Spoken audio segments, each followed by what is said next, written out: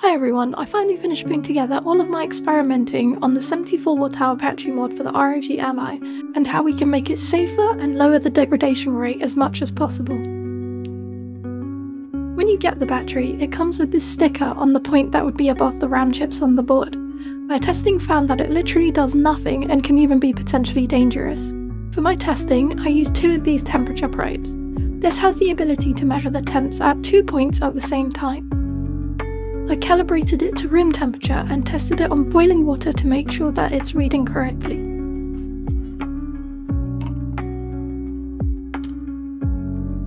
One probe was placed directly on a RAM chip and one was placed on the battery, just off to the side of the RAM chips, and this was in between the battery and whatever shielding method we were testing.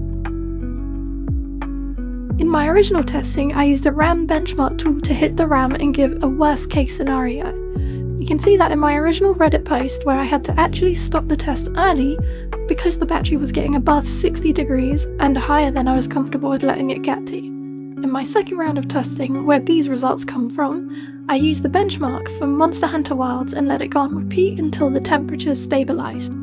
And each test began with letting them am I idle and uh, stabilise at that temperature. Let's look at the RAM results first. The RAM chips of the Ally are rated up to 80 degrees Celsius, and for none of these mods did the temp actually come anywhere near that, so the RAM chips are fine. These are the acceptable temperature values for lithium batteries. The higher you go above 35C, the faster the battery will degrade, and the closer you get to 60C or above, you start getting into dangerous territories. The aim of our mod is to get the battery to a safe temperature, but the lower we can get it, the slower it's going to degrade. Looking at this data based on the Wilds benchmark, you can see how high the 74 watt hour mod gets in comparison to stock. You can also see how the stock battery is still high above 35C and this is why these batteries degrade so fast. You can also see the results of the various methods of shielding I tried for the 74 watt hour mod. I tried varying combinations of materials, but the plate on its own gave the best results. Our aim is to get the battery temp as low as possible, the plate method is what got it to the lowest and the air gap decreased it by an extra degree. Let's cut the plate to size first. You're going to need a sheet of aluminium that's 0.5mm thick. I'll have all the materials I used, all the tools in the description below. Our plate needs to be 250mm long and 40mm wide, and that's just slightly smaller than the battery.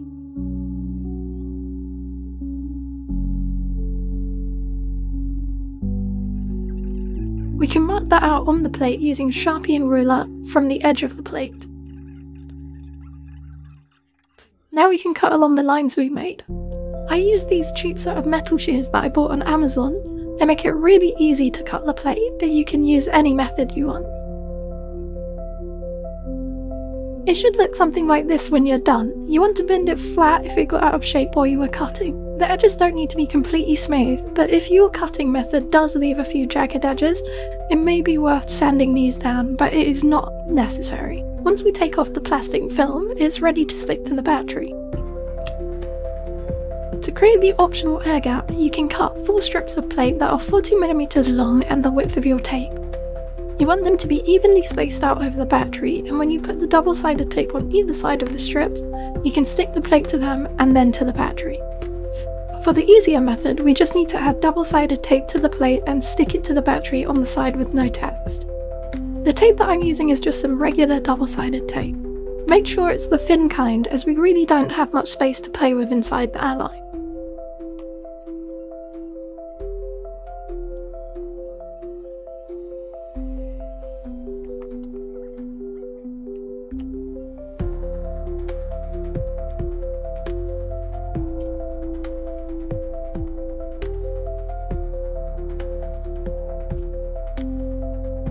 Make sure you can see a little of the battery around each edge of the plate before you press it down. Now let's prep our front shell for the install. There are two posts on the inside of the front plate that we need to trim. There is one here that we need to trim flush with the posts around it. And also the square one here.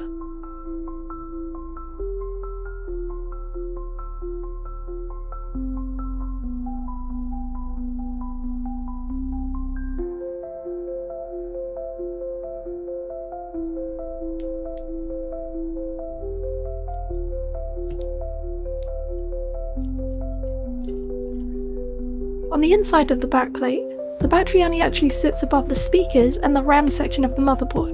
The rest is just plastic, so we don't need to insulate anything down here.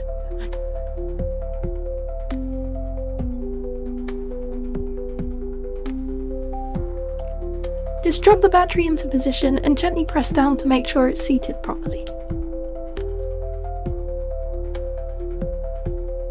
Now we can plug in the battery.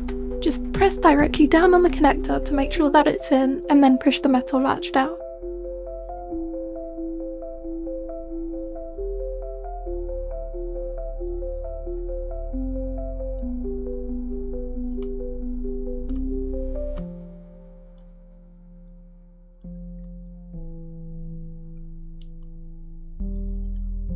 For the backplate, I highly recommend getting an aftermarket shell that doesn't need cutting.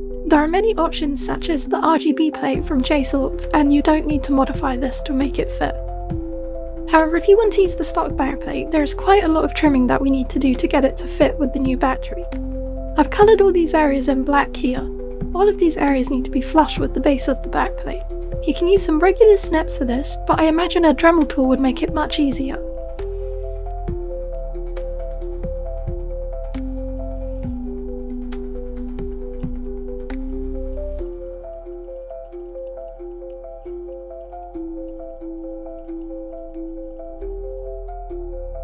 It should look something like this when you're done.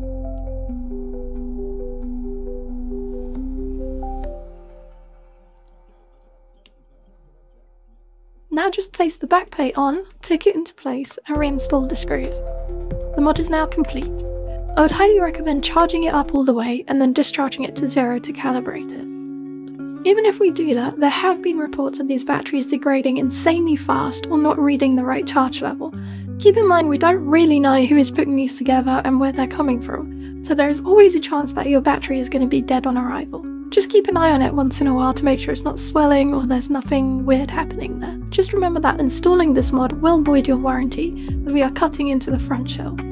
Thank you for watching. If you want to see any other tutorials or mods, have a look at my MakerWorld page where there's all of my mods for the Ally and other interesting projects and knickknacks.